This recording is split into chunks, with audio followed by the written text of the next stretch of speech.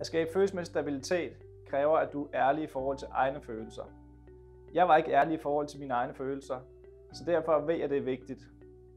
Vi vil alle sammen gerne prøve at opnå succes. Vi vil alle sammen gerne være en succes. Men hvad vil det sige at være en succes? Vi er jo alle sammen forskellige. Nøglen til succes, det er for mig at kende mine følelser og kunne navigere i mine følelser. Jeg har oplevet masser af succes i mit liv. Jeg har også oplevet det modsatte. Jeg nåede til et stadie i mit liv, hvor jeg ikke kunne kende mig selv. Jeg kunne ikke rigtig bunde i min egen virkelighed. Mine følelser, de slog mig ud af kurs, kan man sige. Først i det øjeblik, da jeg lærer mine følelser at kende, så lærer jeg mig selv at kende. Og så ved jeg, hvad det vil sige at præstere helt optimalt. Men hvorfor følelser? Hvad er det, der gør dem spændende? Jamen følelser møder vi hele tiden. Vi møder dem på arbejdspladsen, vi møder dem i det private, og vi bliver udfordret af dem. Vi møder dem, når vi møder en udfordring på arbejdspladsen, når vi skal finde en løsning. Vi ved ikke, hvordan vi skal håndtere os selv.